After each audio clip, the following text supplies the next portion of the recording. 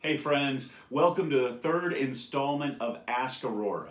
The question posed to us today is What should I know when I'm visiting Lawrenceville to see a show? Well, first of all, I'd like you to know that we have free covered parking.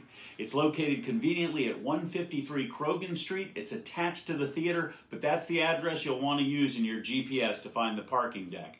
And close by that parking deck, lots of area restaurants.